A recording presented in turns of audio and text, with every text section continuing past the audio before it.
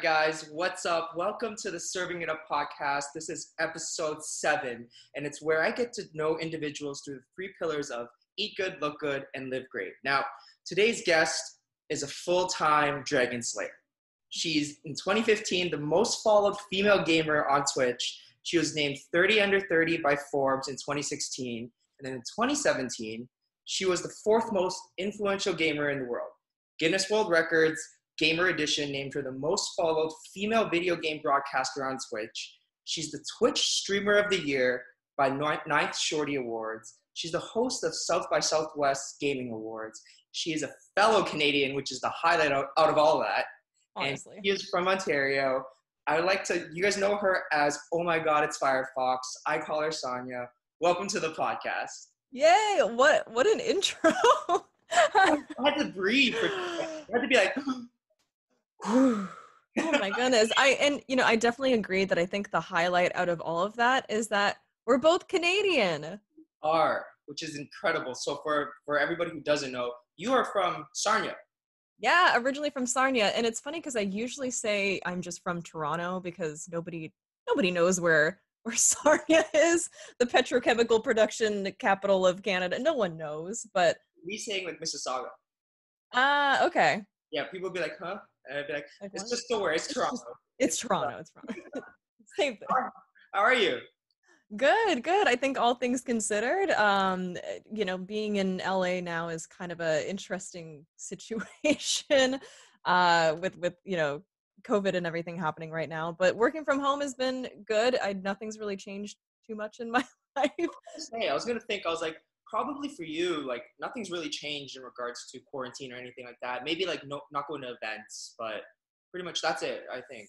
Yeah, that's been. I, I realized that the last couple years I've been doing a lot more events and doing a lot more hosting and traveling a lot more. Um, but in, in January especially was absolutely crazy. Um, I was back to back every week traveling to to different uh, gaming events, and I do a lot in the auto uh, automotive space. So I was going to some auto events, but once quarantine hit, uh, you know, mid March, early March, I finally could take a breath and I didn't realize how tired I was.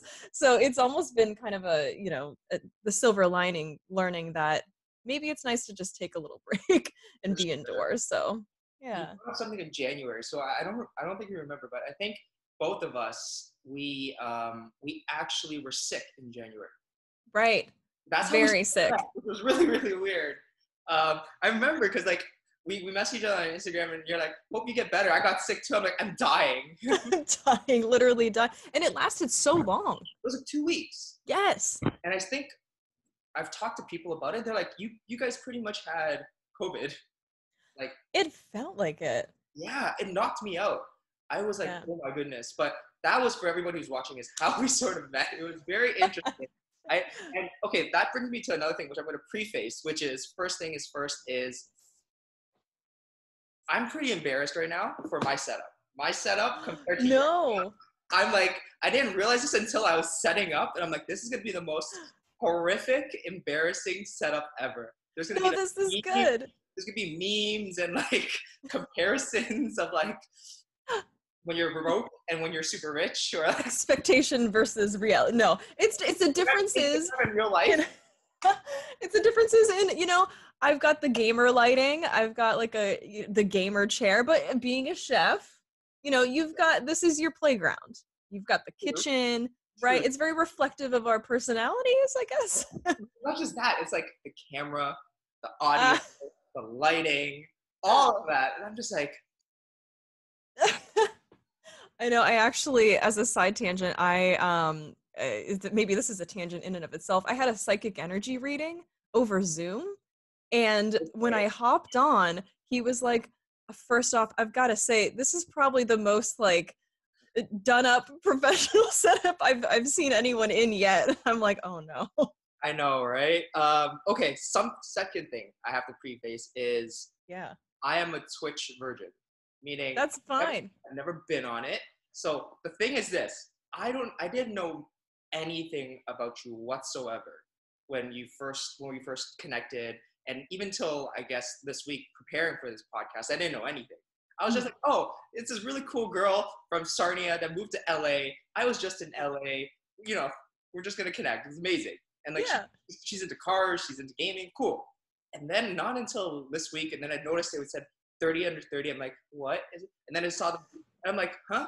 I started doing. I'm like, that that's me kind of looking at it too. I'm like, wait, 30 under 30. I'm like, huh? And then I, I have this a similar reaction to you. So don't ah, worry. okay.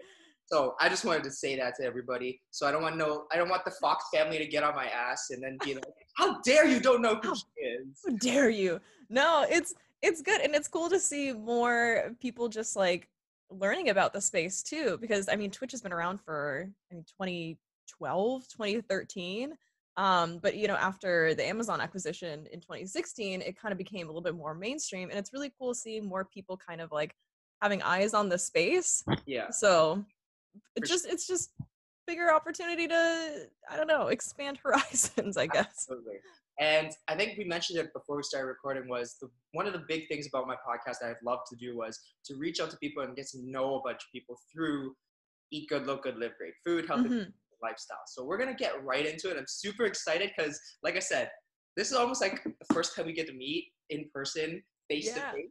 So I'm excited to learn about everything about you and all that you offer. Cool. Yay. All right. So first things first is we have this uh, British gourmand. His name is um, Brillat-Savarin. He always says, "Tell me what you eat, and I'll tell you what you are." So I asked you to Oh. bring some sort of food or drink, or what would you like to have while we're having this podcast? And you suggested uh, coffee, right? Yes. Okay. What did yes. you? You had a coffee. I have coffee. I got a cold brew Mm. coffee. Uh, ooh, what's is it? an M and M. Ooh, yeah, we got we got our uh, high class M&M mug, Amazing. Courtesy of Goodwill. Shouts out, and uh, the coffee inside is actually this is this is a really weird timing Okay. because my uh, a, a friend of mine, Jacksepticeye, he's like another uh, gaming uh, YouTube personality, and he came out with a line of coffee called it's it's his brand, Top of the Morning, okay. uh, and it's incredible. This is the first cup I'm having. I just got a new because I just moved. I just got a new coffee maker. I just got a coffee grinder, and this is the first cup I'm having of his new coffee. And sorry for the little plug, but like, How satisfying is it?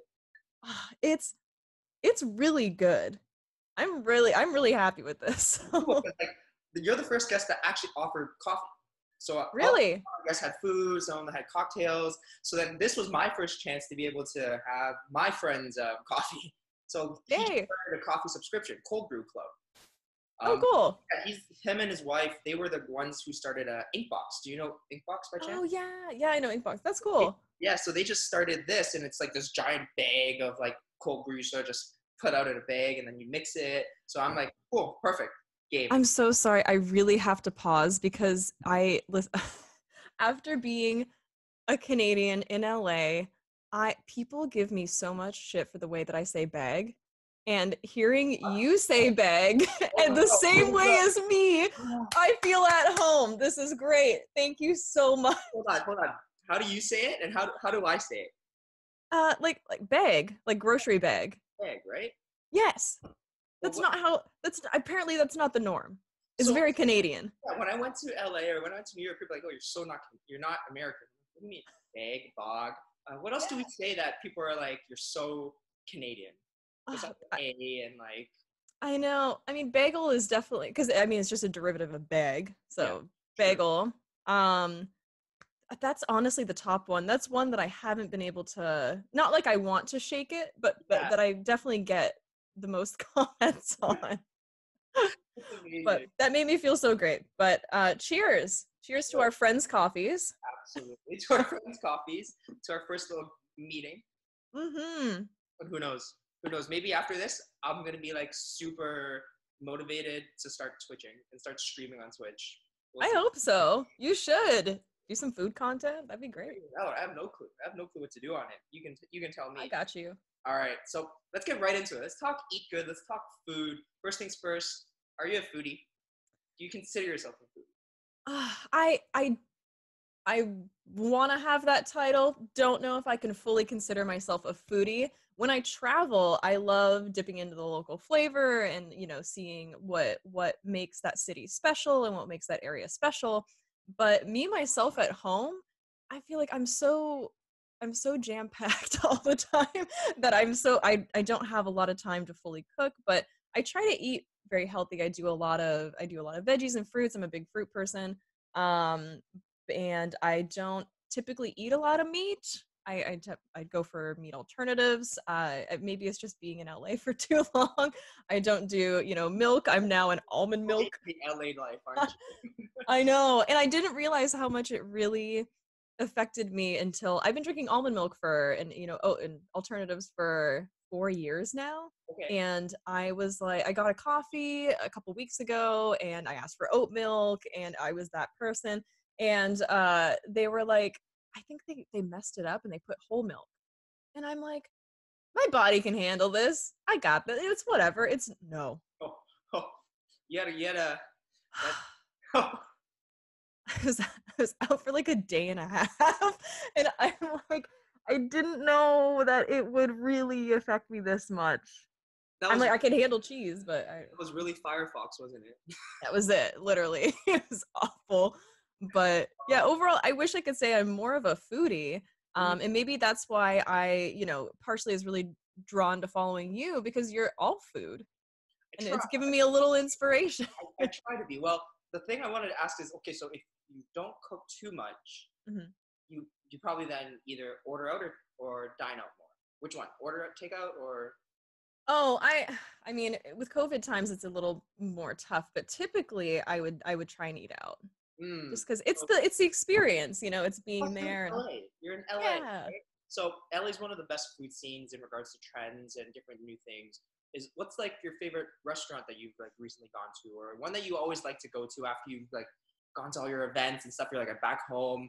This I have to go hit up my spot. Oh, man, I have I have some local places that I I love a lot. Um I definitely go sushi wise, I love going I mean Sugarfish is kind of a staple, but I do love going to Jinya is kind of a chain, but they do have uh Robata Jinya, which is kind of like their main Is restaurant.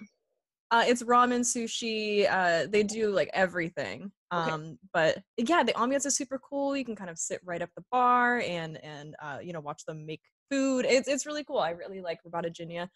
But um, yeah, there's there's so many good spots. I feel like I'm very spoiled for choice here, and that's been good. Are you um, very much more into uh, the Asian cuisine or Ad- Italian or anything? Yeah, I feel like Asian cuisine is is something I always just sort of naturally gravitate to. Like if I'm if I'm like, okay, well I have some time, I'm gonna I'm gonna go out for food. It's it's like an instant thing. I always look for like the best sushi spots. I look for the best ramen spots. I look for um, you know, I I love Korean barbecue. Uh I'm any anything like that. What's your favorite Korean barbecue in uh, in LA? Oh, So many. It's so good. I know there's. Uh, is it? I don't. It's S A A M. Sam. Sam. Sam, Sam. Yeah, they're very good. They're very very good. But I also really love. Is it Gemwa? Do you know Gemwa? Don't you heard of them? I, I, I, there's only one that I really, really like, and Yeah. it, it's always next to if you go to K Town in LA. Yeah, Um, you know where Quarters is? I don't. Quarters is like the big one. Oh, Quarters okay, okay. one that like everybody goes to. It's Yeah. good. That one's really good. But I like the one across from it. I can't remember off the top of my head what the name is, but like. Mm, Jesus. that's it. Like, that's it. yeah, that that I go there and I'm just like, take me, take me, take me now. Yep, that's it. Finish him. Shit. Um, all right, when we talk about that, I want to talk something else. Is since you've moved to LA, has there been any food or restaurants that you miss from Canada? Oh, that's so tough. Well, growing up in Sarnia, I feel like the the flavor uh the the flavor choices and um you know restaurants are a- are a little a little lacking, but I I you know, growing up in Sarnia, there's a place that not only did my family used to work at. I had some uncles that worked at this place. I think my mom worked there for a brief moment. But then uh, it was one of my first long-standing jobs when I was 16 or 17. Um, there's a, a pizza place that they make panzerottis Yeah. or calzones, but they make they call them puffios. It's such a Sarnia, like, It's it is such a Sarnia thing, but that pizza spot, those it's such I, I miss that a lot. I miss Puffios. Um, Sarnia specifically, one thing that I would always do, you know, with friends or with my family, we have the chip trucks. We've got the bridge fries. Right on the corner Ooh, of like a parking lot. yep. There, and you have that sign that says fresh chips. Yes, and it's right you- on the river. It's so you beautiful. Vinegar girl? What's or that? Girl? Vinegar or ketchup girl? Oh, you got to do a bit of both. I, I do the salt, I do the vinegar. Sometimes, if I'm feeling real traditional, I'll slap on that malt vinegar. Yeah. That's a dangerous game, but yeah, a little ketchup. Poutine? Gravy? You got to do it, but it's one of those things that you don't realize what you got until it's gone. I Mhm. feel like I would have had a lot more poutine being in Canada, but now that I'm gone, it's all that I want. So There has to be poutine in LA. There is. It's just harder to find. there's some there's a place that somebody sent me and i the name's eluding me and i wish i could bring it up but they apparently are the masters of poutine around this area and i have yet to try them and i want to know if it holds up Oh, we should. I should. When this all thing is set and like quarantine's all good, I'll, I'll- come down and we'll go and we'll like eat Canadian food in LA. yes two canadians judging all the all the canadian food in la Absolutely. All right. Uh, next thing I want to talk about quickly is you out of from food wise and everything like that. You got to go to Foodbeast. yeah You got to see Elie. How was that? Like, how was that? Was that experience? Did they make you cook? I know they. I know you got to like be him for the day, but Yeah. Uh, that was that was such a cool. Um, I, I've done a couple things with Foodbeast now, and they're such an incredible team, and they're so passionate about what they do. And yeah, me and Elie kind of switched roles for a day, where I led a Foodbeast meeting. Uh, I just took. I was in his shoes basically, but we were doing a like a ramen integration, and it was just such a fun day. Of they had like a giant you know ramen sword and like other ridiculous stuff but yeah they're they're a fantastic team and that was definitely one of my most favorite interactions with them. Uh, we also did a they have a whole tournament uh, where they have people on twitch and you you're paired with a an actual chef not me um and you you have a partner who's an actual chef and then they have a kind of a competition to see like who cooks the most creative meal and everything um and we just did that a couple maybe like a month or two ago um and that was an absolute blast so they're they're i love foodbeast because they're such a not only just like a food you know uh, creative company but they are a very creative company in the way that they work with brands and the way that they do their content they're so creative and just they really uh, yeah they're awesome I think for them, it's um, they're not afraid to do something different. mm-hmm They're not afraid. That's like, it. Foodbeast kitchen thing and like yeah it's like they're they're when they go on Twitch for their stuff, it's not you know your typical Iron Chef or that kind of stuff. It's not like your grocery games, but it's like legit. Like it's this like really crazy, unique kind of vibe, and it's very Foodbeast. Um, yeah All right, next thing I wanted to talk about was Japan. We had this talk. We talked about this a bit. I was supposed to go in literally three weeks. I'm supposed to go in three weeks. me too No, it's heartbreaking three weeks. i was supposed to go in september Me too. Where were you? Where were you gonna go?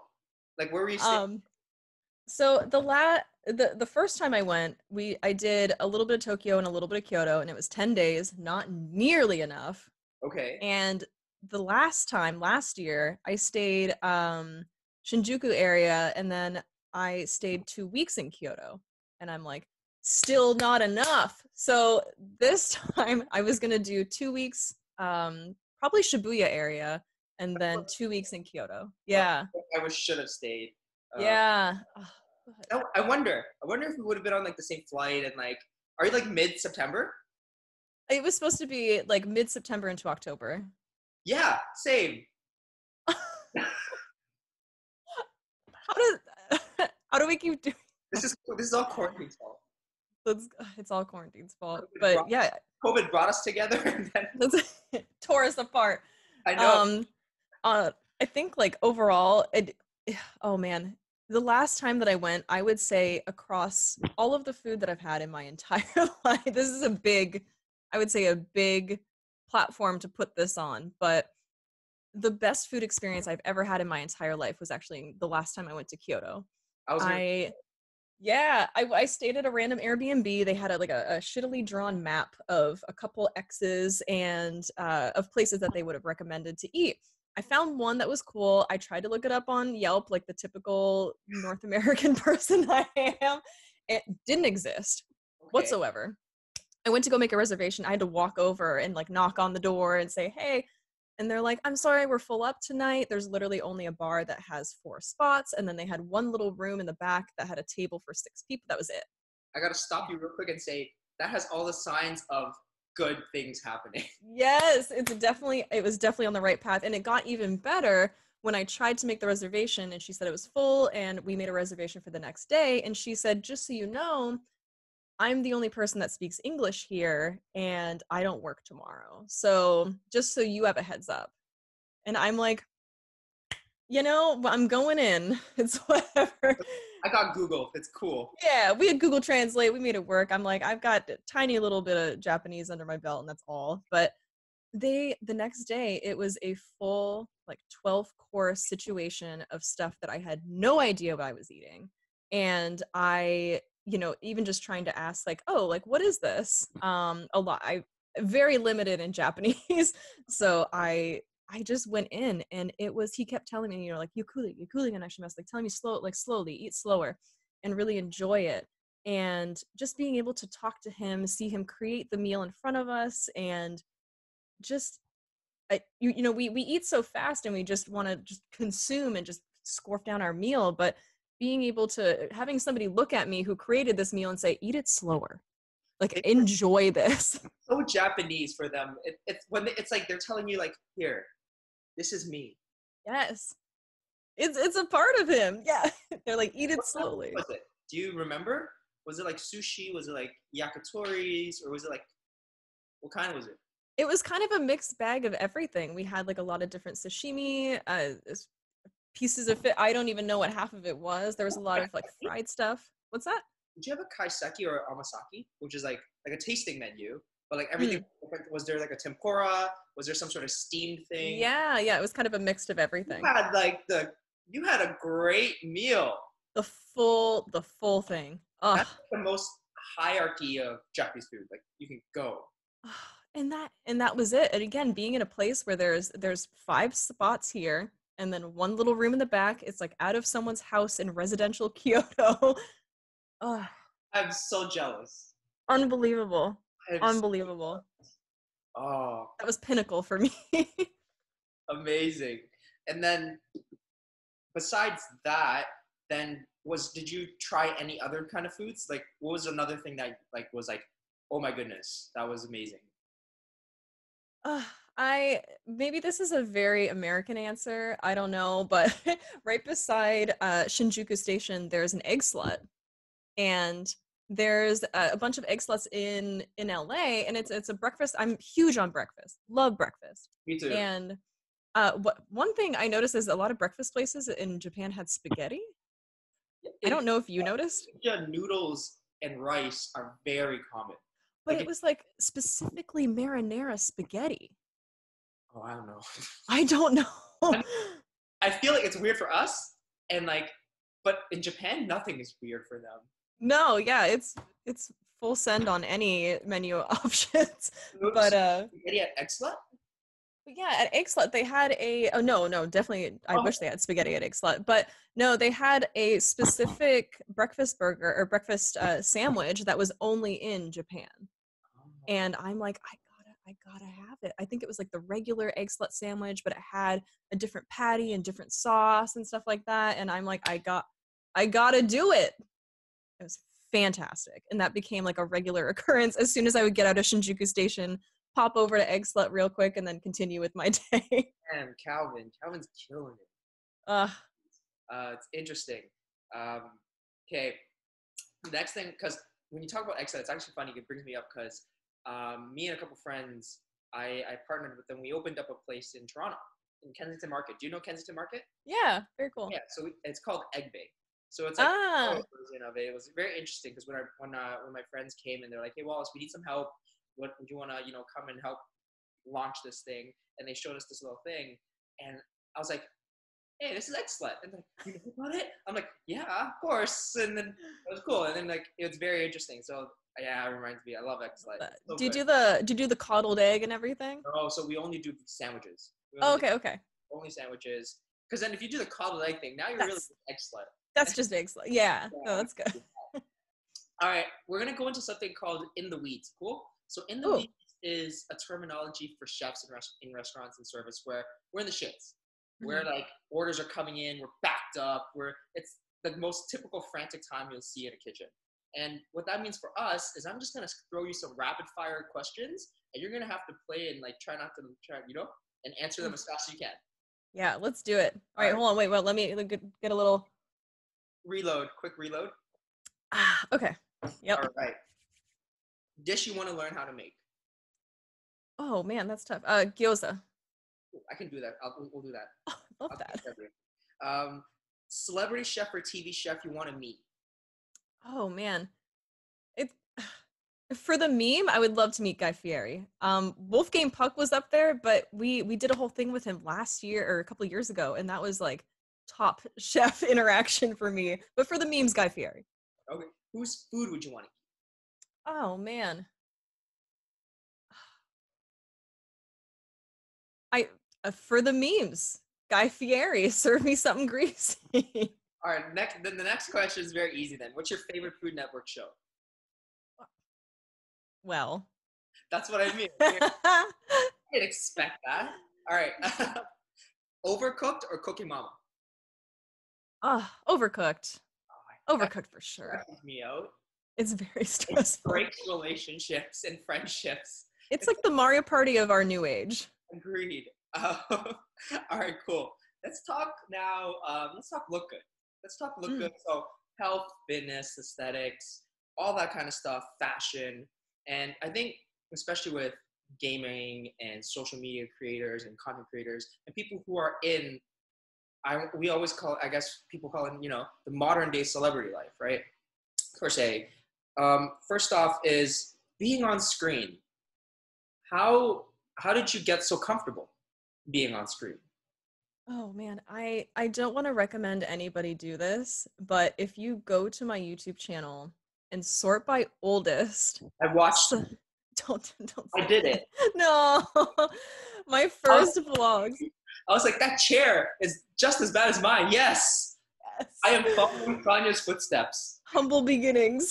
I uh I was so awful on camera. I started calling myself an idiot every like every other word. I I just, you know, I was not comfortable because that wasn't my my zone at all. I worked retail, um, just talking to people face to face and I, I wasn't used to having to record myself or anything. But the more that I would do it and the more that people would encourage me being like, Oh, I love that vlog. Like, why don't you talk about this? Like this gaming thing is really cool. Why don't you talk about this? And I just threw myself into it.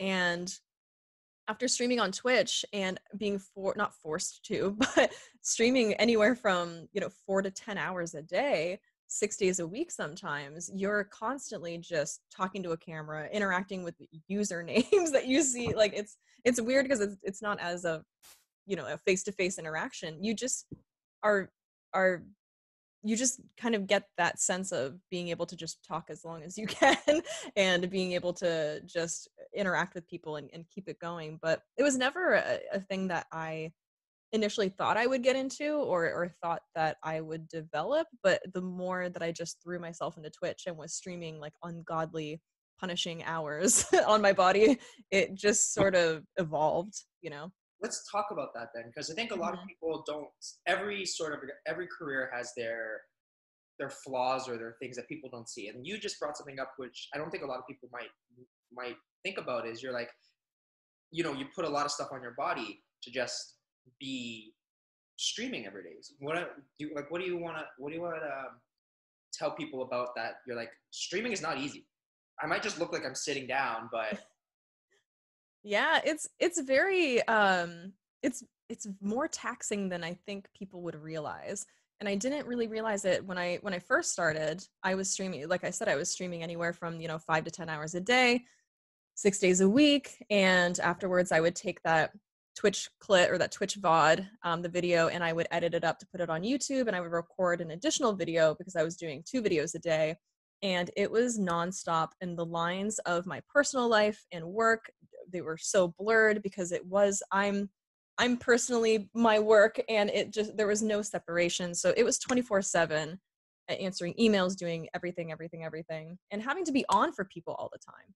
Having yeah. to be high energy and you know something that people would actually want to watch is it does get very taxing and I didn't realize it until um I just got so burnt I got so burnt out and I realized that I wasn't enjoying it as much as I, I initially was. And I really had to kind of like take a step back and be like, how do I how do I make this work better for me and for people so that they have content that they enjoy and I'm enjoying the content, you know? Agreed. Agreed. That's actually something I was gonna bring up later. So we'll get back to that. But mm-hmm. I think that's is that why you started then getting into yoga and meditation? Or was that something that you found later on or that was definitely a, a, little bit later on. I started doing yoga back in high school and uh, into college, but it was it was just kind of like a more of the physicality of it of mm. just I just want to stay in shape. Yoga's gonna kick my ass, whatever, whatever. It is, but it, it's it's tough when you really get into it. But the last couple years, um, I would say probably the last three years with yoga and the last four years with meditation, I didn't realize how how closely the two were married you mm-hmm. know, and how closely uh, breath work and everything um, really goes into that and how good that is for your body. And I started, I enrolled actually during quarantine, I, I enrolled uh, in yoga teacher training so that I could really hold myself accountable for keeping on track with staying on yoga and learning more about the practice and learning more about what goes into it and why it's beneficial for our body and like what that does biochemically and what it does you know what does breath work do and and everything and it's really deepened my personal practice and it's i've been forever grateful for that. I had a i had a friend um she did like i think it was like 25,000 hours or 10,000 hours like you go to Bali for like a whole month and like yeah. everything about that yoga stuff and then you come back and become trainer and would you ever do something like that yeah, this is uh kind I mean with COVID it's I mean obviously not able to travel right now, but uh we're doing I think the standard is usually like a 200 hour teacher training and then you can go like higher up like 500 hour teacher training. But right now I'm doing the 200 hours and they do offer retreats where you go to Bali and you're there for 2 weeks and you do that counts towards a certain amount of hours and that's my dream. If I can just like you know, screw off to Bali for for Bali trip for two weeks and like just do yoga. I'm that's it. That's what would I you, love. Can would you be able? Is that feasible? Can you like just turn off? OMG, it's Firefox for like two weeks and like now nowadays. Ask me that two years ago or three years ago, four years ago. No, there's okay. absolutely no way. But I feel like because I've kind of pivoted a lot of my content and I've pivoted a lot of the ways that I, I do what I do, um, I could definitely make that work now. That is awesome. That's that's good to hear. It's good to hear. Yeah. Like a lot of people, especially those that work for themselves and have to do all these things, they don't know how to turn it off. Like you said, mm-hmm. you'd be able to be like, I can now. It's it's like a good refreshing breath of fresh air. Um, mm-hmm. Um, next thing I want to talk about is now we're getting to yoga. We're getting all that stuff. Yoga gets. Uh, we get into like butts. So rumor is you talk a lot about butts. So I'm trying to find, trying to learn about you. I'm like, why does butts keep coming up? I love. yeah. I'm like, huh? I love how this is like during the re- again for somebody who you know we, we've just followed each other on Instagram for like a hot minute and somebody who knows like nothing about me. It's really cool to see the pathway of what you've uncovered. You're like, okay, Forbes 30 under 30 and butts. I'm really not putting the two together, but like, you know. Mm but yeah, so like people say you talk a lot about butts. it, I feel like it definitely used to be more of a thing. Uh, it was just kind of a, a I don't even know how it's it. I don't even know how it started. It was kind of like a stream thing of like mm-hmm. booty touches or touching the butt or something, and it just evolved into like, now. That's something like you would say while you're playing the game, or I think people in the chat really made like booty touches or touching because it was kind of like a joke thing at the time. I don't Mhm. know, maybe in like more culture and then we kind of adapted it, but um yeah, it it kind of evolved and then people wanted to have like an emote where it's a finger so it's like you know you can Ah, poke the butt. I don't know, but I feel like we've grown. We've definitely grown sure. evolved, matured a little bit. We still retain the the emote uh, for you know longevity's sake, but it's uh, for historical value. But we've we've evolved a little since. I feel Um, something else I want to talk about is now we're talking about evolving. Your hair has evolved. a lot. It's gone from multiple colors, right? From blonde, pink, brown, brunette. Um, how do you decide your hair color? Do does your does your Fox family decide your hair color? Do you let them choose or help? oh man, if I did, it would probably be a dangerous game. But I no, I'm I'm actually naturally blonde, like very very blonde. So I I and then I had uh you know brown hair for so long up until when I started doing content, and then everybody just knew me as brunette. And then I was like, well, I kind of want to go back to my roots, like literally and I guess you know metaphorically. and I bleached my hair entirely. I went back to what I what I know and what what I you know my natural color and uh it kind of just opened up that opportunity. I'm like, okay, I have pretty much white hair now. I'm like, I can kind of mess around. I can do whatever I want. And then that evolved into blue and purple and pink and I white and everything else in between. What's been your favorite color? Uh, when it was white, white, when I went to Japan last year, I, I was looking back on photos and I think I lightened it right before I went. And I had this purple shampoo that, that Uh, pulls out any of the brassiness so it got even whiter. Oh, that was my shit. That's what I, I I- loved that. I had. I know exactly what you're talking about because I had that too. Yeah. I had it was like last year I decided to dye my my friend, she's a hairstylist. She was leaving my other friend's barber shop. It was her last day and, and she's Oh. like the hair colorist. So I was like, okay, it's your last day here. Do whatever you want. I'll let you like I'll just grow back anyway. So and then like so she dyed it, but it didn't have enough time. So she said, You'll come back and finish it. I didn't know anything about hair. I literally it was gold. I was Goku, like Super Saiyan Yes. it, it, but I didn't expect it, and nobody expects it from me. So then I had this like go Super Saiyan hair for two weeks before I can come back, and then she changed it, and then it went to like silver. The people started calling me Quicksilver, yeah.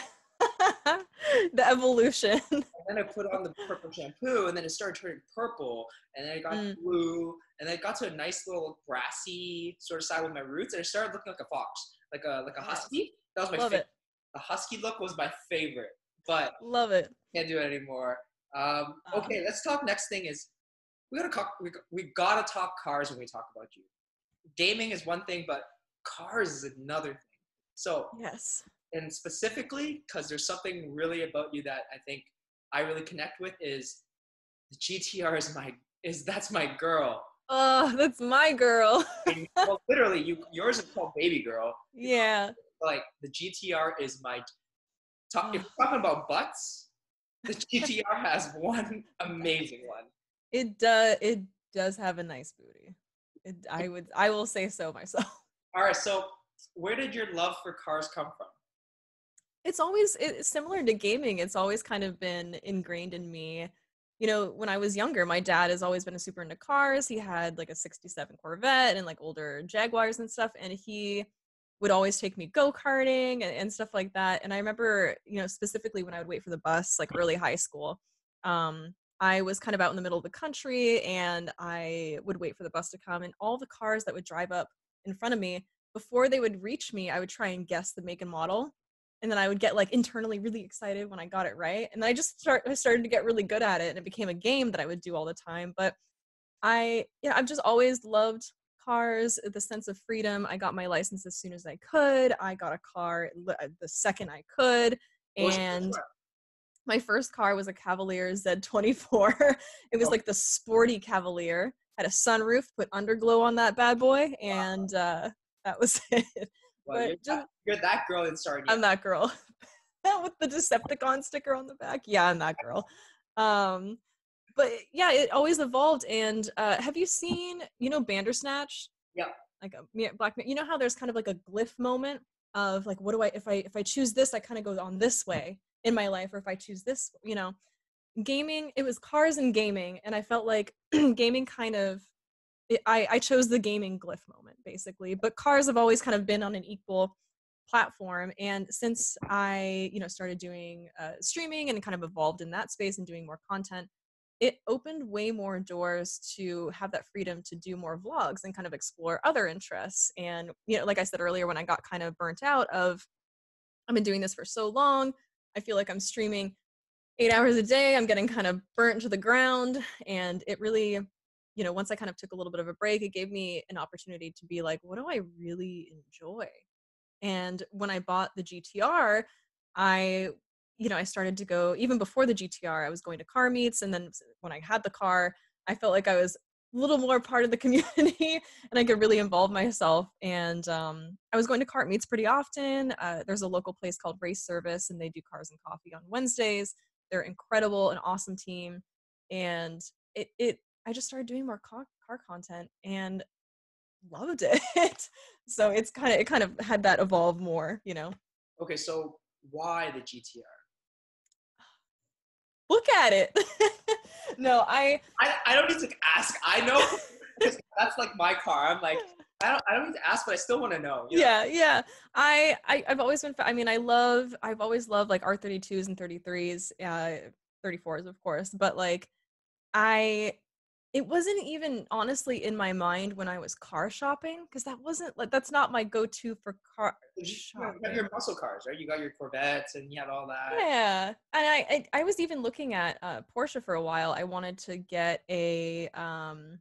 I, I wanted to get something that had like a, a sun or not a sunroof, but like a, you know, I could put the top down. I'm in LA, right? Yeah. and I took out the Boxster. Um, I I, I took out a Boxster. I was looking at the GT3, um, which would would have been absolutely insane. Um, but I, at the same time as I was doing these test drives, I put out a joke tweet that was like, at Audi, at Nissan, at Porsche, at everybody. I'm like, fight for my love and my wallet, like kind of a thing. I was joking, but Nissan actually hit me up, and they slid in my DMs. So smart. I love brands like that. Brands right? like the most innovative ones. I love them yeah and they they see they see an opportunity they see that you know and they they work with influencers so they let me borrow the gtr it was like that that sunset burnt orange like that hot orange and I, they let me um, the creme brulee top. Yeah that, that's such a good that's such a good uh, comparison but yeah literally the creme brulee gtr they let me borrow it for a week and they're like yeah just let me know what you, if you if you like it or not and blah blah blah and after a week, I'm like, I can't drive any other car. Like this is it. And I had I had I had to do it. Oh, you're such a good car. So I'm having a moment here real quick. Just yeah. Like, but that is so for me, my love of the GTR came from I used I really, really loved 350. Yeah, yeah, yeah. 50, the. That bubble butt. It was it. That was Speaking was of butts, and and then I saw the 375, and mm-hmm. then I it's because of that that I saw the GTR. Oh, okay. Yeah, okay, sorry, 350 get away, get away. and it's always been my thing. So then, if we talk about that and we talk about Japan and all that, Tokyo Drift. Ah. Uh, yeah. yeah. It is. In, uh, when you were in Tokyo, when you're in Shibuya, did you have that little? Did you be like you put that scene in your head? That, I, I definitely, you know, being in the taxi, I definitely threw on the song internally in my head. But uh, okay. every if you have a GTR and you like cars, you there's and you and Jeff, no way you did not on on the red light. You're just there, you're just like dun dun dun dun. dun. dun. the whole time oh my god and there was actually in japan i got a i got an opportunity to go to um i heard about the daikoku car meet Okay. And I it's like this gigantic parking lot. It's legendary. It's known for having like crazy Japanese cars, like straight crazy JDM stuff. And at night, everyone has like neon lights and they play music. It's a whole like deep car scene thing. But the problem is it's it's a parking lot that's in the middle of all these weird like intersections and there's no way to get to it unless you have a car. Uh, and like and Ubers Ubers are like the equivalent of an Uber black car. like the the higher tier is what default Uber is over there. So it's so expensive. So I'm like in Japan, I'm frantically texting all of my car friends being like, "Do you know literally anybody here? I need to go to this before I leave." And luckily there was someone who's like, "Oh yeah, I've got a friend uh he you, you know like likes going to these car meets and stuff." But being able to and then he he brought me which was incredible. But being able to go to the the Daikoku car meet and then see, you know, I saw an American GTR there. Okay. Somebody, some guy was like straight out of Texas or something, and he had an American GTR there, and I was like, I'm never gonna see this. He's the guy from Tokyo Drift. That was him. Wabaki. uh, but yeah, that was such a surreal experience to really get into the Japanese car culture, and um, you know, even with the language barrier of uh, my Japanese is extremely limited but people were just excited that I was taking photos of their car and they would try and talk about their car and just get excited. And I had people yell at me. Some like older Japanese man came running at me. It was a YouTuber, YouTuber, and like pointing at me. so it was it was fantastic. That's amazing. Honestly, when you're telling me that, I can only think of that scene in Tokyo Drift where they're first going into the car meet and you got those girls with the freaking like ready, seto. Yeah. pretty close. It's pretty close. uh, cool. Um, okay, I wanted to get into now the reps and sets. So reps and sets, or for here, I'm gonna call it gears. It's gonna be rapid rapid fire questions. Same thing. Cool. Yeah. All right, let's do it. So, OG Pokemon. Which one would you choose? Your start. Oh man, Charizard. I'm a Charizard lady. Okay. Me too. So we're good. Nintendo, PlayStation, Xbox, or N64? Ooh, out of all of them across all platforms, N64. That's where my my bread and butter, my home, my heart. That's where it all. What was your game? I it's when I think of N64, the first thing that comes to my head is Glover because it's a game that no one really remembers, but I played the shit out of. Which one? What was Glover? It, you're this weird little glove guy, and you're you're you walk on balls like these weird. I don't know. It's really hard to. It's not going to make any sense whatsoever. like, hold on, I'm trying to follow. If, if you look at the art, I think you would you would probably it might jog something in the memory, but um, yeah, Glover's the first thing that came to my mind. All right, um, your favorite GTR? Just like any any of them, any skylines. Any skylines.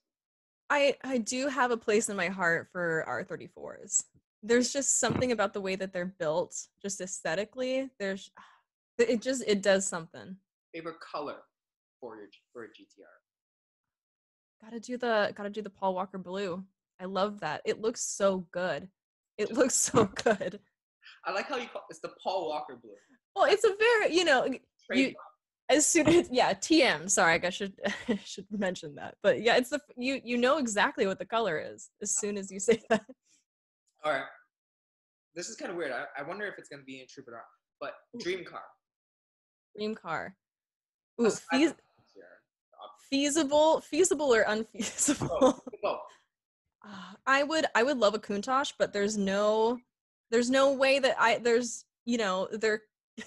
that's a Countach. I mean, you're just like, Wallace. There's no way. There's, there's no way and I I watched a whole um oh what's his name uh Demarco.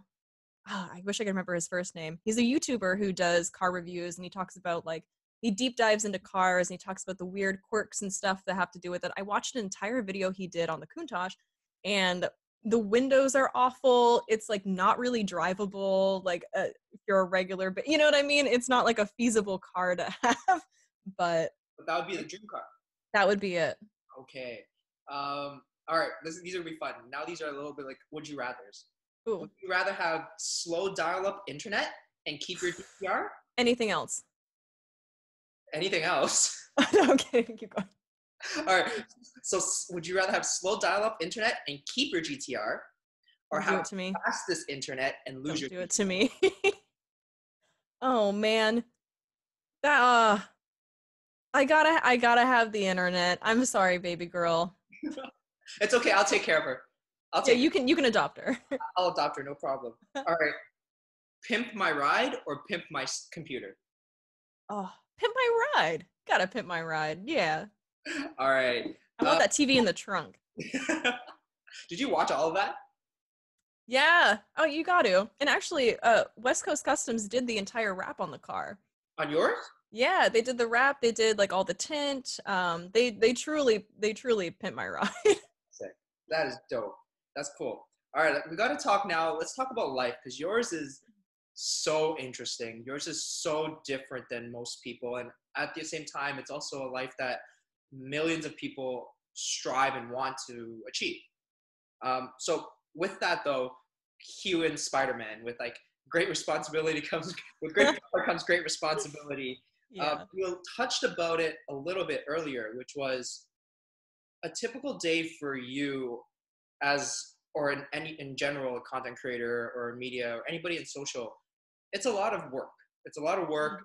you're streaming you do the streaming then you do the editing and you ta- you talked about something and i heard you talk about it before and that really really connected with me because i felt the same way which was that burnout that burnout and not Mhm. knowing when to turn it on turn it off that line between working and not working when your your own brand per se or your Yeah. company or whatever is you um, for someone who's at your level what have you found that's been the most helpful the most helpful in that that I feel like I've learned is I think it comes down to two things. One was more recent for me than the other, but being able to set your own boundaries and set your schedule, which I'm I'm going to eat my words because I'm awful at doing it, but being able to, you know, set your boundaries, give yourself a hard cutoff day. If there's a day that you're like I I I haven't I've been working 2 weeks straight, I need to take a full day off and just like chill um, being able to respect your own boundaries so that other people will also respect your own boundaries you know so that if people aren't asking you to do stuff on days that you're off like if you make it very clear that this is my time i need this and there's nothing wrong with that being able to to set that constraint for your own sanity and for other people to respect that too is so important. And one thing again more newer than that revelation but it definitely came through meditation and through yoga and through everything else is that to be able to listen to your body because there's so many answers in your body for things that are going on you just need to be inquisitive enough to question it or even taking the time to listen to it you know? Like if you're sometimes you don't even realize that you're getting burnt out but when you take a second to meditate and you're like like i feel this. I feel it. Or if you're unsure on you know some kind of brand deal or a business venture or something that you're putting your time into if you feel like you're constantly being drained by it maybe it's time to kind of reevaluate you know what you're what you're doing and how much energy you're putting into it and maybe you can do it differently or set different boundaries but yeah i think being able to kind of again respect your boundaries so that other people's can other people can respect it and to listen to your body I and agreed. I think that's a big thing. It's interesting because when you say that, and when I heard and I hear your story about you know dealing with all that stuff, it brings me to my. It makes me think of mine, of Mm. my personal story too, of that because you found it through yoga.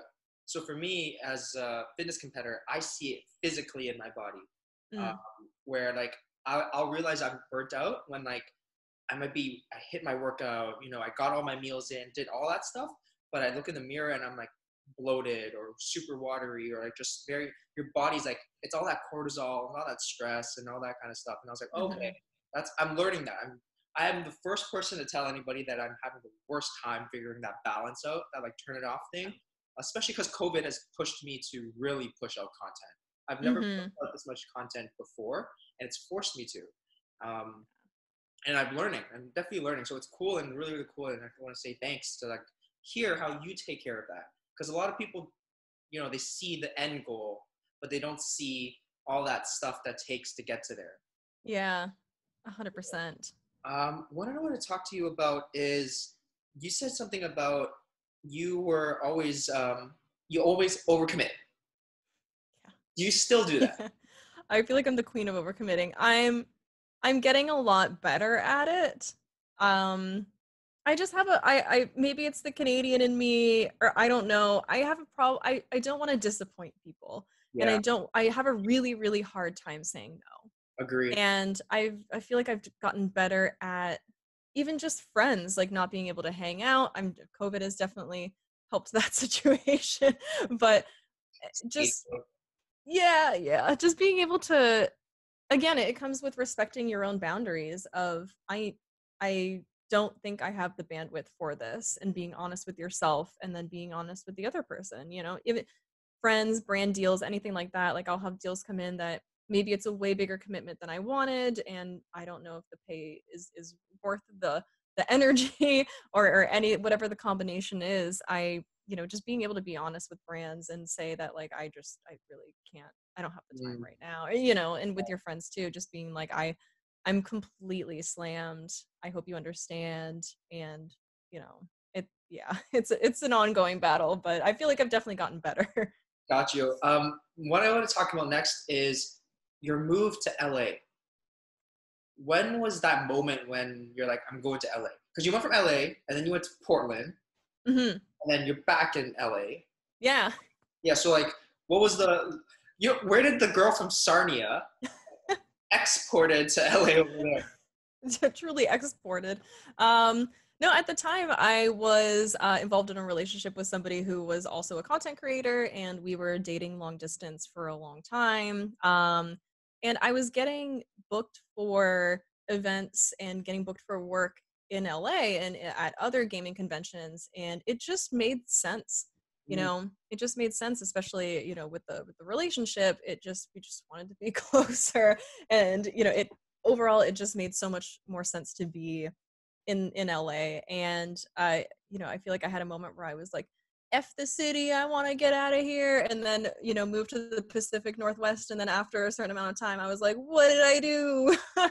and uh, I missed rain, but not that much. And I, I came back. And it's been, it was definitely the decision to come back um, and have more opportunities. And because that's, well, it's it's so expensive to live here, and it's definitely draining if you let it um, there is there has been numerous times where just being in the area has definitely helped in terms of hey we have this last minute shoot for this gaming thing um, we had somebody like drop out or hey you're you're local like it's this weekend can you do it?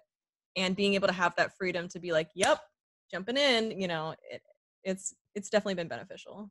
I think that's like one of my biggest reasons why I I had that moment. I there's definitely a moment where like I wanted to move to LA for that same thing which yeah. is you know whether it's like anybody like wants to do a, a, a some sort of content piece or like hey i'm doing a pop-up. We, we want to like do a course this weekend? And i'm like yeah i can't fly over there and like a course and fly back. It doesn't make sense. Yeah I totally agree with you. Okay. And then when was the last time you came back to canada? Ah, it's been years. It's probably been maybe two or three years. And i was actually supposed to come back because i missed i, I always love coming back for canada day because I I love Canada so much. And I, I'm very I will come back for Canada Day. That's the one thing I always make sure. I love coming back for Canada Day. Do you um, Sarnia or Yeah, I, I like to spend Canada Day in Sarnia because it's just, you know, it's something I grew up with and it's celebrations that I've had as a kid and they have something in Canatara Park and they have the fireworks on the river and I get my bridge fry. You know, it's it's so close to home and it's so close to my heart literally and it's just I I love experiencing that. But I missed it last year and I was really heartbroken. So I was so excited to come back this year. But now the borders are closed. So figure this out. We'll we'll go to Japan. Yeah. We'll go eat in LA. We'll do Canada. stop in Canada and then perfect. Um, something else I wanted to talk about then is um, you, you talk about family, Fox, the Fox family. So you call it the Fox family. That's your community. That's yeah. they they're a big group of people. a little bit. really how we're a big fan. You are a big fan, and um, out of all those family, your Fox family, all that stuff. Well, there's one more family member is Gonzo, your cat. Oh, my baby. Yeah. gorgeous. So you have a lot of really, really great things. You know, that you got a GTR, oh. you got a cat, you got family. I'm very, I feel very blessed. I feel very lucky. What kind of cat is he? Or her? Sorry. No, he yeah, he's uh he's just a a tabby cat I actually got when he was 6 weeks old. Um like 6 to 8 weeks old at a local shelter in Sarnia. And I've had him he's 12 or 13 now. So he's like my ride or die. He's truly my 12 year old son. Like he, he's been around through so many moves, so many relationships, so many everything that he is so gorgeous. And like I love like so me for me, I love your your your feeds your feed on your, your gram and everything because it's like it'll be like cars, game, traveling, food, cat. Gonzo. things that are great. But yeah, okay, that's yeah. and so was it hard to bring Gonzo over? Um, no, I I I just brought him over, cat carrier, drove over the bridge. You do you bring him to events ever? No, he's like he's such a grumpy old man at this point that there's no there's no way he could handle it. Sometimes I'll bring him on stream and I'll, you know, I'll hold him and everyone's like, "Oh, Gonzo." And then he just buries his head in my in my elbow and he's like he's not about it. He's not really a big ham. okay. Um next thing I want to talk about is for you, you're on this big pedestal of obviously brand partnerships and collaborations and brand deals. What's what's been a, your favorite brand partnership that you ever had so far? Oh man, it's uh, immediately two came to my mind, and it's it's definitely between the two. I did a uh, a branded video with uh, Legendary where we filmed with The Rock, and we did a whole i was it was called reality quest i was stuck in the rocks video game and it was in promotion of uh you know the new jumanji that was coming out and i played this character where i was you know going through the, these video game levels and trying to defeat not only my own struggles but also the rock and his minions bald minions but that was honestly a, I, again like another pinnacle point in my life where i never in my what if I could talk to 16 year old Sonja and I and say you're going to be filming with The Rock and you're going to be on you know standing face to face with this mountainous man, um, I wouldn't have believed it in a thousand years. and I think that was definitely a, a huge highlight in my life and in my career. That's but. Um, yeah. Is there a brand you want to work with? Oh man, Nissan, hit me up. Give me that Nismo. Um, no, I, I think I've definitely, uh, man, I don't know. That's really tough. I kind of just go with, you know, what what's happening. I guess, like in the car space, it. I almost fall into and develop uh, into, I guess, brand relationships. I I feel like I haven't like sought out too many brands, but one that's kind of came across that has been a really cool relationship is with Michelin, where they do a lot of experiences with um, with influencers where it's not just you know they brought us out to Goodwood in England, like the whole um, you know the whole auto fest out there, and we went to Road Atlanta and we got to drive on the track before the Petit Le Mans and like crazy stuff. But it's also the food side of Michelin, um, you know, with the Michelin star restaurants, and they it was it's a whole experience, and being able to have that um, and see the the the passion and the uh, excitement of not only the staff but everybody like everything that's put into Michelin as a brand has been really cool. So that's definitely been a dream partnership. Speaking about that, then, where was the last Michelin starred restaurant you went to? I think it was in it was in uh where was it? It must have been in England, I think when we did uh when we did the um what's it called? I just said it goodwood. We we went out afterwards and there was a, uh, a michelin star restaurant that was down the street from our hotel and they i wish i could remember more about it. I know it was fantastic. It was definitely a couple drinks deep um and there's definitely some wine in there. There's, there's a couple of glasses in there but yeah i think that was the last michelin star experience. Okay, and because now you brought all that up, you know what it reminds me of? I feel yeah. like the next brand deal that will segue into our next thing we'll talk about is you should be in the next Fast and Furious. Sign me up. There's one there's one photo on my Instagram and it's like of me in Azusa Canyon and I have the GTR in the back and there's all these canyons and I'm we just started taking dumb photos and I was walking towards the camera and it looks like it's about to be a slow-mo shot where my car gets blown up and I'm like, what, you know, and I'm like, cast me in your action movies. Dwayne, Dwayne, just just give him a message. Be like, homie, DJ, hit me up. Let me know. What you gotta do? You gotta you gotta hit DJ. You gotta hit Nissan, and then you hit Michelin. Bam. Yeah. That's the perfect Venn diagram of me in an action movie. Agreed. There Now- it is. Brings it into acting. So Mhm. aside from all the accolades you're doing, uh, this screen online, you're actually on the big screen. You're also on the big screen. Yeah, a little bit. I'm dipping into it. You were on Mayfield's game. Yeah. On a reality quest that you were talking about. Me and I, all like, how did that happen? Were you did you get casted for it, or were you actively looking? It it's a, a little bit of both. Initially, I wanted to get more into. I, I mean, I've always been into comedy, so and being on camera and and doing stuff like this, it really helped to have.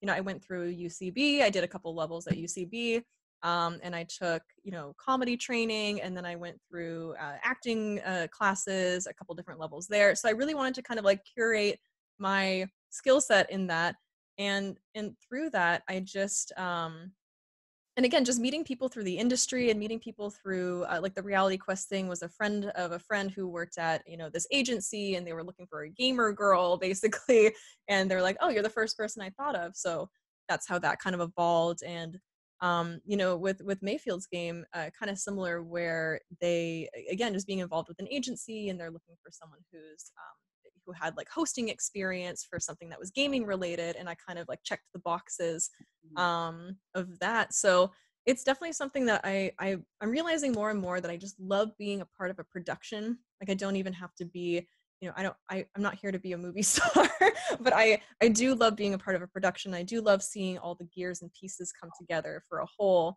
it's so it's so cool to be a part of that experience so being able to have you know mayfield's game and uh, you know other opportunities i would i'm just excited to hopefully have more of those once you know And we're able to was um, Mayfield's game or reality? Which one was your favorite one out of the two? Uh, both. I mean, uh, uh, The Rock was obviously a. that's, that's definitely a highlight. But As he is he as big as he is in person?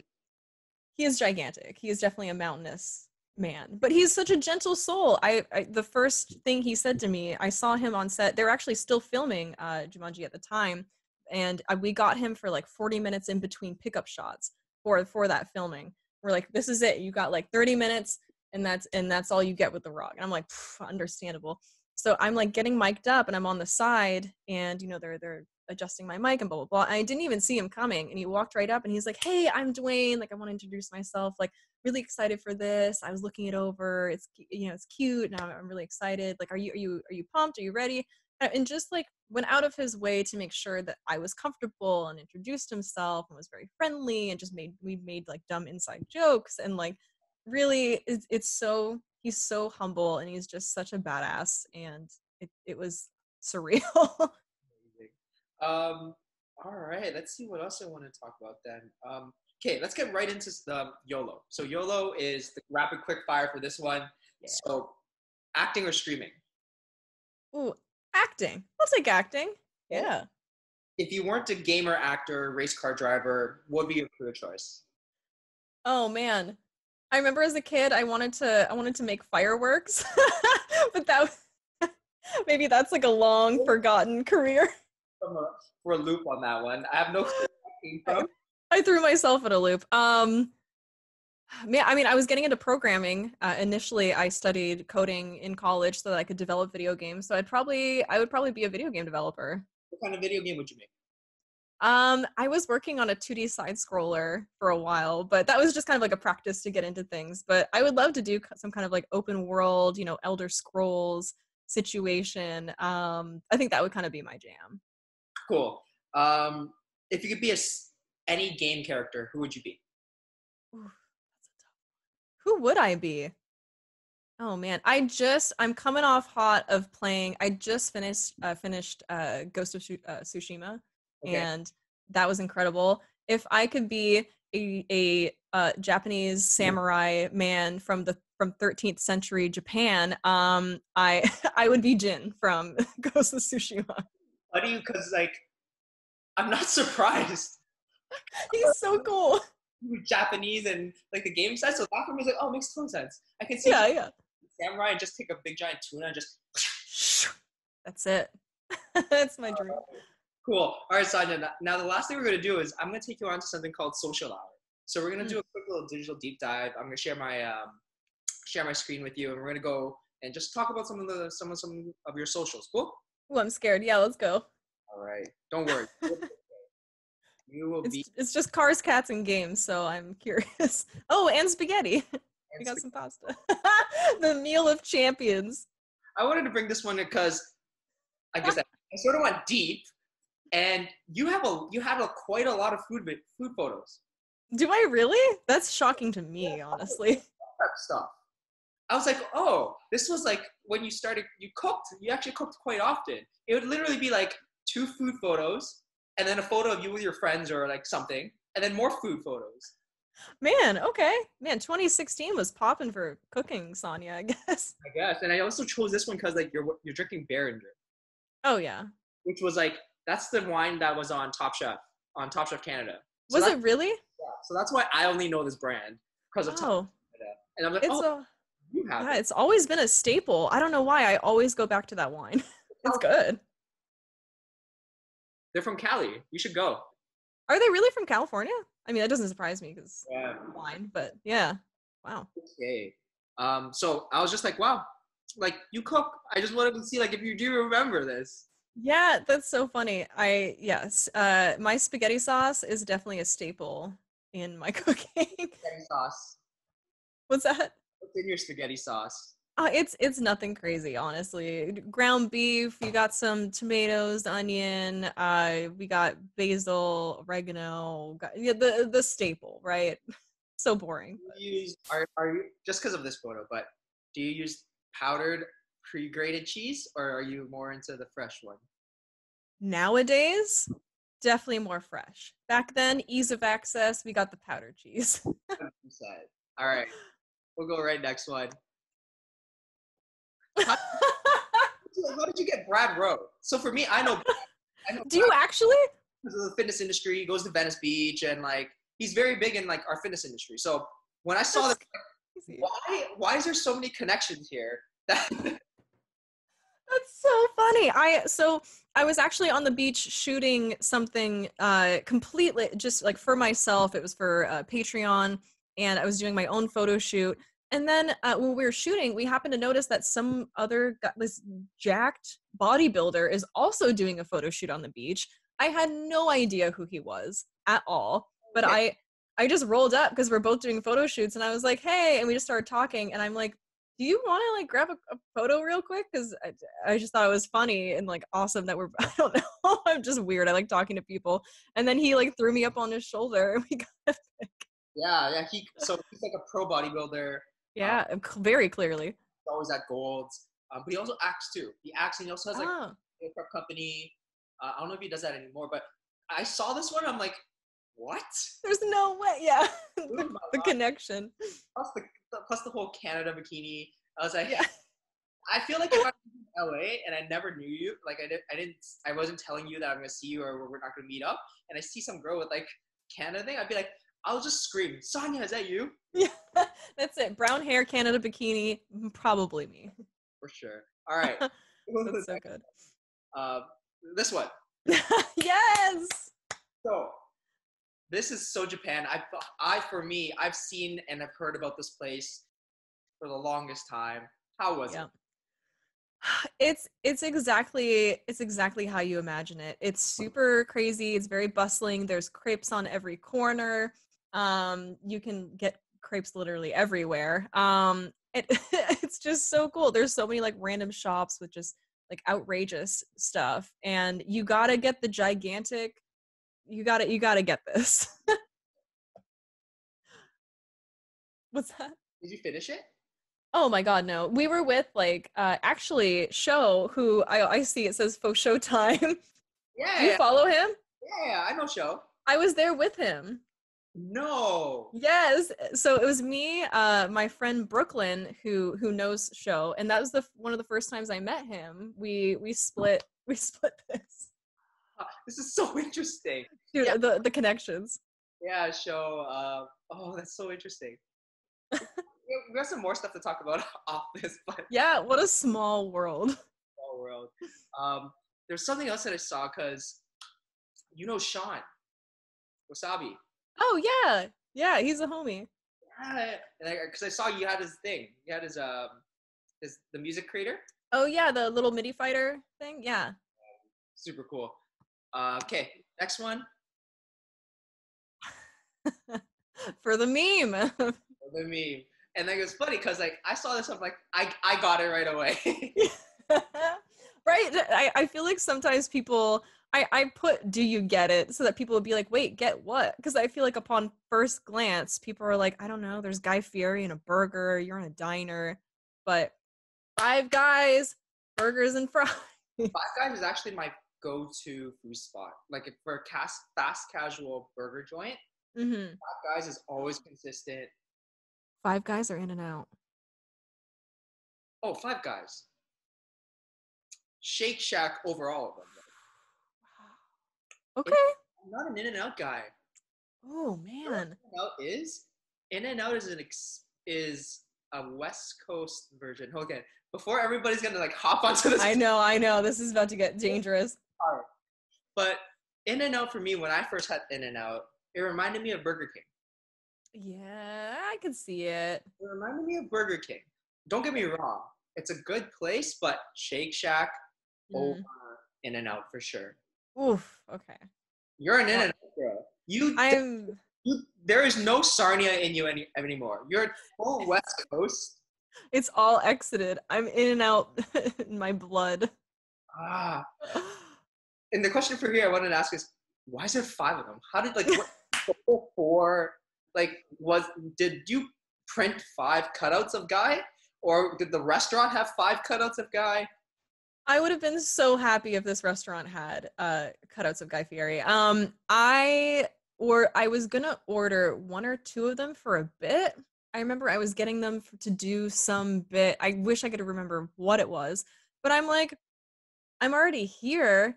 Why don't I order, I don't know, 10 and just like see where that gets me? And I, I, I after I had them for a while, I'm like, what the hell am I gonna do with 10 cardboard cutouts of Guy Fieri? And then it I started giving them to friends. I started gifting them. Um, and then it came to me just five guys, burgers and fries. And I went to a local uh, restaurant in Hollywood and I popped in and I was fully I didn't ask them to like, hey, I'm gonna take photos here, blah blah blah. I literally just like I'm like ordered a burger and fry and brought in my Guy Fieri's and set up. No shame. Oh, I love it. I freaking love it. Um, okay, next one. You you're we Aw, talked about it, so I was like, oh, that's really, really cool. So that was really interesting, and yeah. yeah, I was I was I saw this photo and I was like, that we have to talk about it. And we- I'm glad we talked about it already. Um, cool. Yeah, and being again like being I'm five foot. I'm I'm I'll say five foot three.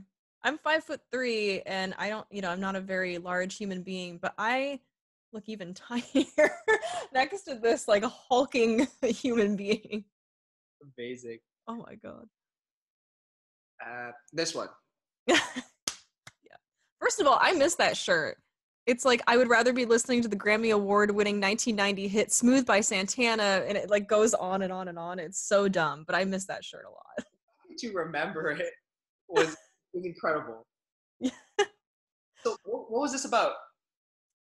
Oh man, we were doing videos uh, with React, with YouTubers React, and at the time, one of the big things was uh, bread face vlogs, and it was a woman who would basically just smush her face into bread and do like that was it. I don't know if it was like bread ASMR or what was happening, but they wanted us to to try it ourselves and um, see see what we thought about putting our face in bread. And how did it go? Honestly, okay, some of them, listen, if it's like a ciabatta bread, it's a little tough. I mean, the inside was great, but you got the edges. But if you can get a nice, smooth, like long, like that Subway roll there, that long Subway sandwich situation, it's kind of nice. It feels kind of nice. Kind of weird, but it's kind of soft. Okay, because I was like, what is this? Yeah. Have you had that experience? Have you put your face in bread? I have Oh. Okay. Yeah. And what would you think? in dough, in bread dough. Oh, not the fully cooked. It's a specific time. I remember I made this big giant batch of bread dough, and then it was in this uh, bus bin. We put um, saran wrap on top, or cling cling film, whatever everybody wants to call it, and then it it risen right. It the yeast mm. let it rise, and it became this giant pillow. And I just I was just like, because one of my favorite feelings is dough. Yeah. Like, if I see dough, I'll poke at it. Like I have this urge to just like ah, this puffy thing, and I'm just like, because I didn't expect it to rise that much, and I'm just like, and then I was just like, oh, this is so. Oh, it was soft. It's, it's so. It's good to know that, like, again, in my experience, the fully baked bread is is equally as soft. But now I know even in dough form, it's still a good pillow. Dough form is amazing. Love it. I think we have one last one. Mm-hmm. And this was your IGTVs. Oh yeah. Your IGTVs and something about was you actually you're very much in every single social media thing in regards to you're on YouTube, you're on Twitch, you're on all that kind of stuff.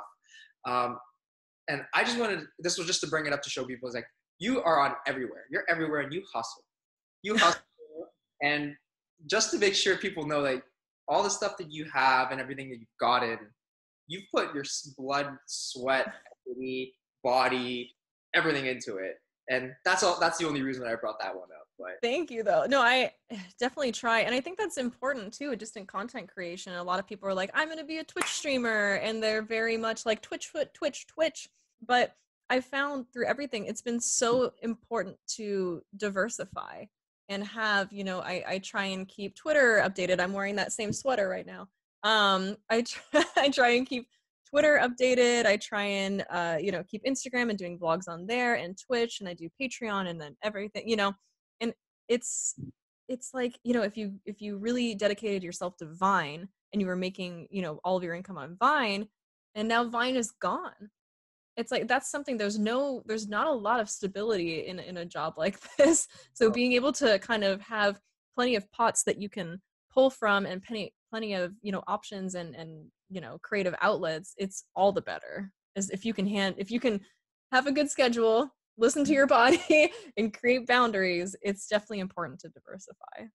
So for you you're you're definitely that kind of person where you know you'll put your energy into what's maybe making the most ROI but then you're you're going out and you're putting everything out on everything else to make sure you have those channels.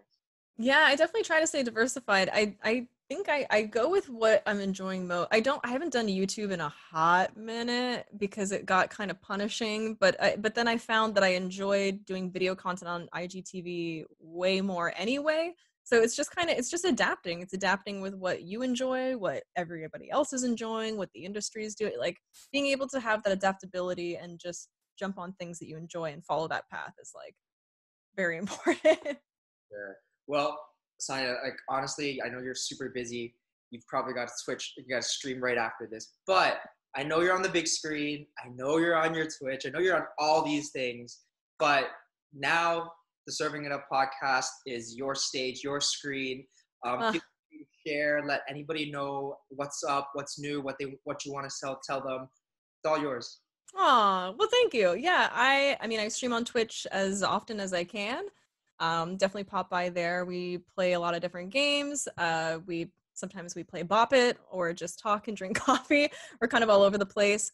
Um, I can't talk too much about it now, but I'm gonna have a podcast of myself coming out later on, uh, which is really exciting. And other than that, I'm just at OMG it's Firefoxx and everything else: car content, gaming content some yoga stuff, wellness, um, kind of all over the place. So yeah, come hang out. Content. Yeah. Wink. yeah. Teach me how to make gyoza, please. That's absolutely no problem. We'll talk. We'll talk about that after. Yeah. But, all right, guys. So thank you guys for watching. This was Serving It Up Podcast, episode seven with the girl Sonja. Go check her out. And until then, have a good one.